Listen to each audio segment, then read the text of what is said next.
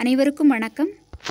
இன்னைக்கு தியாக தீபங்கள் அப்படிங்கிற தலைப்பின் கீழ் நம்ம பார்க்க போகிறது திரு பத்மாவதி ஆஷர் அம்மையார் அவர்களை பற்றி தான் பார்க்க போகிறோம் வாங்க ஃப்ரெண்ட்ஸ் வீடியோக்குள்ளே போகலாம். இந்த சுதந்திர போராட்ட இயக்கத்தில் வந்து நிறைய தலைவர்கள் நம்ம பார்த்துட்டே வந்துட்ருக்கோம் அதில் வந்து பெயர் தெரியாத அதாவது நமக்கு பரிச்சயம் இல்லாத பல தலைவர்களை பற்றியும் இந்த தொகுப்பில் திரு ஸ்டாலின் குணசேகரன் அவர்கள் நமக்கு கொடுத்துட்ருக்காங்க. அந்த வகையில் பெயரே தெரியாத நமக்கு இதுவரைக்கும் கேள்விப்படாத நிறைய பெண் விடுதலை போராட்ட தலைவர்களையும் நமக்கு இதன் வாயிலாக நமக்கு தெரிஞ்சுக்கிறதுக்கு ஒரு பெரிய வாய்ப்பாக இருக்குது நமக்கு குறைந்தபட்சம் தெரிந்த இது அப்படி அப்படின்னு கேட்டோம்னா அதாவது காந்திய காலத்திலிருந்து அப்படின்னு கேட்கும் பொழுது நம்ம கேப்டன் லக்ஷ்மி அவர்களை சொல்லுவோம். கொஞ்சம் டீப்பாக படிச்சிருந்தோம் அப்படின்னா அம்புஜத்தம்மாள் அசலாம்பிகை அம்மையாரை கூட சொல்லுவோம். ஸோ பெயர் தெரியாத எண்ணற்ற பெண்கள் வந்து சுதந்திர போராட்டத்தில் ஈடுபட்டிருக்கிறாங்க. தங்களுடைய பங்களிப்பை பெரிய அளவு கொடுத்துருக்குறாங்க. ஸோ அதெல்லாம் வெளிச்சம் போட்டு காட்டும் வகையில் தியாக தீபங்களில் இன்றைக்கி நம்ம பெரிதும் கேள்விப்படாத அறியாத பெயராக இந்த பத்மாவதி ஆஷர் அம்மையார் அவர்களுடைய பெயர் இருக்குது ஸோ இவங்களை பற்றி நம்ம இந்த பதிவில் என்ன சொல்ல வராங்க அப்படிங்கிறத பார்த்து தெரிஞ்சுக்கலாம். நான் படிக்கிறேன். பிடி ஆஷர் பத்மாவதி ஆசர் தம்பதி திருப்பூர் வட்டார விடுதலை போராட்ட இயக்கங்களின் தொடக்க கால பங்கேற்பாளர்கள் ஸோ திரு பத்மாவதி ஆஷர் அவர்கள் வந்து பிடி ஆஷருடைய மனைவி. இவங்க வந்து திருப்பூர் வட்டார விடுதலை போராட்ட இயக்கங்களில் ஆரம்ப காலகட்டத்தில் இருந்து பங்கேற்றவர்களாக அறியப்படுறாங்க. குஜராத் மாநிலத்தில் உள்ள ஜாம்நகரில் பிரபலமான வணிக குடும்பத்தில் ஆயிரத்தி தொள்ளாயிரத்தி ஐந்தில் பிறந்தவர் பத்மாவதி ஆசர். குஜராத்தியர் சிலர் திருப்பூரில் பல்லாண்டுகளாக வாழ்ந்து வந்தனர். குஜராத்தில் நூற்பாலைகள் அதிகம். அதற்கு தேவையான மூலப்பொருட்களான பஞ்சு திருப்பூர் பகுதியில் அதிகமாக விளைந்தது. இங்குள்ள பஞ்சை கொள்முதல் செய்து குஜராத் மில்களுக்கு அனுப்புவதை தொழிலாகச் செய்து வந்தவர்களே திருப்பூர் குஜராத்திகள். ஸோ நம்ம பத்மாவதி ஆசர் அம்மையார் வந்து குஜராத் மாநிலத்தில் உள்ள ஜாம் நகர் அப்படிங்கிற இடத்துல நைன்டீன் நாட் ஃபைவ்ல பிறந்திருக்காங்க. அது வந்து ஒரு ஃபேமஸான பிஸ்னஸ் ஃபேமிலி அப்படின்னு குறிப்பிட்டிருக்காங்க.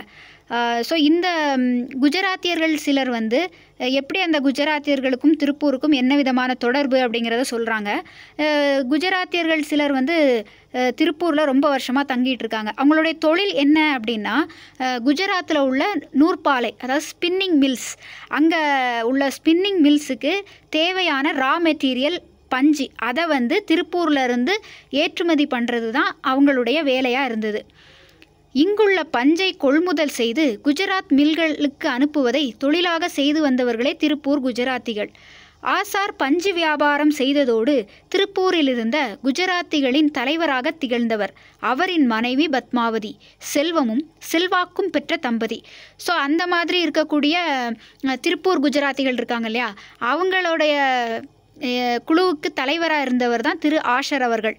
அவரும் அந்த பஞ்சு வியாபாரத்தை தான் செஞ்சிட்டு இருந்தார் இங்கேருந்து குஜராத்துக்கு நூற்பாலைகளுக்கு ஏற்றுமதி பண்ணக்கூடிய தொழிலை பண்ணிட்டு இருந்தார் ஸோ இவங்க வந்து ஒரு நல்ல செல்வாக்கும் செல்வ வளமும் பெற்ற ஒரு குடும்பமாக திருப்பூரில் வசிச்சிட்டு இருக்காங்க குஜராத்தில் உள்ள பர்தோலி வட்டார விவசாயிகளின் வரிகொடா இயக்கம் வீரமிக்க போராட்டம் குறித்து அங்கிருந்து திருப்பூருக்கு தொழில் நிமித்தமாக வந்து சென்றவர்கள் இங்குள்ளவர்களிடம் எடுத்துச் சொல்லி வந்தனர். ஓகே இந்த பர்தோலி போராட்டம் அப்படிங்கிறது நமக்கு தெரியும். நைன்டீன் டுவெண்ட்டி எயிட்டில் நடந்திருக்கும் சர்தார் வல்லபாய் பட்டேல் அவர்களுடைய தலைமையில் பர் பர்தோலி அந்த ஒரு இடத்துல. அதாவது டேக்ஸ் நான் டேக்ஸ் பேயிங் மூமெண்ட் அப்படின்னு சொல்லுவாங்க. அதான் வரிகொடா இயக்கம். ஸோ அந்த சம்பவத்தை வந்து அவங்க குஜராத்காரங்க இல்லையா? நம்ம ஆஷார் அம்மா அவர்கள் பத்மாவதி ஆஷார் அவர்கள் அவங்கக்கிட்ட வந்து நம்ம ஊரில் இந்த மாதிரி நடக்குது குஜராத்தில் பர்தோலி வரிகொடா இயக்க போராட்டம் நடந்துகிட்ருக்கு அதை பற்றி உள்ள ஃபாலோ அப்ஸ் எல்லாத்தையும் இவங்கக்கிட்ட சொல்லிகிட்டே இருக்காங்க. அதை வந்து இவங்க கேட்டுட்ருக்காங்க. ஓகே ஸோ ஆயிரத்தி தொள்ளாயிரத்தி இருபத்தி ஐந்து மார்ச் பத்தொன்பதில் காந்தியடிகள் திருப்பூர் வந்தார். ஆஷர் வீட்டில் தங்கினார். அதே ஆண்டு காங்கிரஸ் இயக்கத்தில் சேர்ந்தார் பத்மாவதி. ஸோ நம்ம பத்மாவதி அம்மையாருக்கு வந்து இந்த சுதந்திர போராட்டத்தை பற்றி எப்படி தெரிய வருதுன்னா இந்த பர்தோலி உடைய நான் டேக்ஸ் மூமெண்ட்டை பற்றி கேள்விப்படுறதன் மூலமாக தான் அவங்களுக்கு இதை பற்றியெல்லாம் தெரியுது. ஸோ அதன் அதற்கு முன்னா முன்பாகவே அவங்க வந்து நைன்டீன் டுவெண்ட்டி ஃபைவ்ல காந்திஜி வந்து திருப்பூர் வரும்பொழுது ஆசர் அவர்கள் வீட்டில் தான் தங்கியிருக்காங்க. ஸோ அந்த ஆண்டே பத்மாவதி அம்மையார் வந்து காங்கிரஸில் இணைந்தாங்க. ஸோ அவங்க காங்கிரஸில் இணைந்த வருடம் அப்படின்னா ஆயிரத்தி தொள்ளாயிரத்தி இருபத்தி ஐந்து நைன்டீன் டுவெண்ட்டி ஃபைவ் மார்ச் பத்தொன்பது. அதில் காங்கிரஸில் இணைந்துட்டாங்க. ஆயிரத்தி தொள்ளாயிரத்தி இருபத்தி ஏழு அக்டோபர் இருபத்தி ரெண்டில் காந்தியடிகள் இரண்டாம் முறையாக திருப்பூர் வந்தபோது ஆஷார் அண்ட் கம்பெனி சிறப்பான வரவேற்பளித்தது. ஆஷார் வீட்டில் தங்கி இருந்தபோதுதான் காந்தியடிகளுக்கு வைஸ்ராய் இர்வினுடைய பேச்சுவார்த்தைக்கு அழைப்பு வந்தது. So nineteen twenty seven October twenty two second visit Gandhiji தமிழ்நாட்டுக்கு வரும்பொழுது தான் வரும்போதும் ஆஷார் அவர்கள் வீட்டில் தான் தங்கியிருக்கிறாங்க. அப்போ ஆஷார் அவர் வந்து ஒரு company வச்சுருக்கிறாரு. So that is Ashar and company அப்படின்னு குறிப்பிட்டிருக்கிறாங்க. அவங்க வந்து காந்திஜிக்கு ஒரு சிறப்பான வரவேற்பு அளித்தாங்க அப்படின்னு சொல்கிறாங்க இந்த டைமில் தான் காந்திஜிக்கும் இர்வின் வைஸ்ராய் கூட நட பேச்சுவார்த்தை நடத்துறதுக்காக அழைப்பு வந்தது அப்படின்னு சொல்லியிருக்காங்க. அகில இந்திய காங்கிரஸ் கமிட்டி உறுப்பினராகவும் அகில இந்திய மகிழா காங்கிரஸ் பொருளாளராகவும் பத்மாவதி ஆயிரத்தி தொள்ளாயிரத்தி இருபத்தி ஒன்பதில் தேர்வு செய்யப்பட்டார். ஸோ இவங்க நைன்டீன் டுவெண்ட்டி நைன் வந்து அகில இந்திய காங்கிரஸ் கமிட்டி மெம்பராகவும் அகில இந்திய மகிழா காங்கிரஸ் பொருளாளராகவும் தேர்வு செய்யப்பட்டிருக்கிறாங்க. நைன்டீன் டுவெண்ட்டி நைன் ஆயிரத்தி தொள்ளாயிரத்தி முப்பதில் நடைபெற்ற உப்பு சத்தியாகிரகத்தில் ஆறு மாத சிறை தண்டனை பெற்றார். ஸோ இவங்க வந்து நைன்டீன் தேர்ட்டி வந்து நடந் நடைபெற்ற உப்பு சத்தியாகிரகத்தில் சிக்ஸ் மந்த்ஸ் ஜெயில் வந்து அனுபவிச்சிருக்கிறாங்க. பத்து ஒன்று ஆயிரத்தி தொள்ளாயிரத்தி முப்பத்தி இரண்டு. அங் அப்பொழுது நடை நடக்க இருந்த ஊர்வலத்தை நடைபெறாமலே தடுத்துவிட நினைத்த காவல்துறை அன்று அதிகாலை ஐந்து மணிக்கே ஆஷார் தம்பதியை முன்னெச்சரிக்கையாக கைது செய்தது. ஸோ நைன்டீன் தேர்ட்டி டூவில் வந்து சுத ஆங்கிலேயர்களுக்கு எதிரான ஒரு ஊர்வலம் நடக்க இருந்த சமயத்தில் இவங்களை முன்னாடியே கைது பண்ணிட்டாங்க.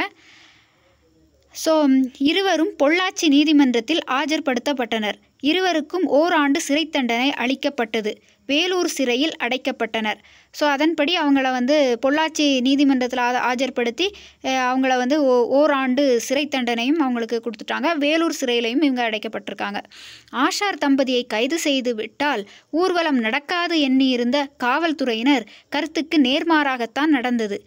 பி. எஸ். சந்திரனின் தலைமையில் திருப்பூர் குமரன் உள்ளிட்ட பத்து பேர் பங்கேற்ற ஊர்வலம் எதிர்த்தாக்குதலையும் எதிர்கொண்டு எழுச்சியுடன் நடைபெற்றது. ஸோ இவங்களை கைது செய்ததுனால அந்த குறிப்பிட்ட போராட்டம் நடைபெறாமல் போயிடும் அப்படின்னு ஆங்கிலேயர்கள் கணக்கு போட்டிருந்தாங்க. பட் அது பொய்த்து திரு பி. எஸ். சந்திர மன்னிக்கணும் சுதந்திரத்தின் தலைமை ஓகே பிஎல் ஓகே பிஎஸ் சுதந்திரத்தின் தலைமையில் திருப்பூர் குமரன் ஸோ அவங்கள கைது பண்ணால் நடக்காது அப்படிங்கிற போராட்டம் திரு பிஎஸ் சுதந்திரன் அவர்களின் தலைமையில் திருப்பூர் குமரன் உள்ளிட்ட பத்து பேர் ஊர்வலம் வந்து சிறப்பாக அந்த போராட்டத்தை நடத்தி முடித்தாங்க இத்தகைய கலை இயக்கங்களுக்கு ஆக்கமும் ஊக்கமும் அளித்தவர்கள் ஆஷர் தம்பதி. ஆந்திர மாநிலத்தைச் சேர்ந்த விடுதலை போராட்ட வீராங்கனை துர்காபாய்க்கும் ஆஷார் தம்பதிக்கும் தொடக்க காலத்திலிருந்தே அணுக்கமான அரசியல் தொடர்பு இருந்தது.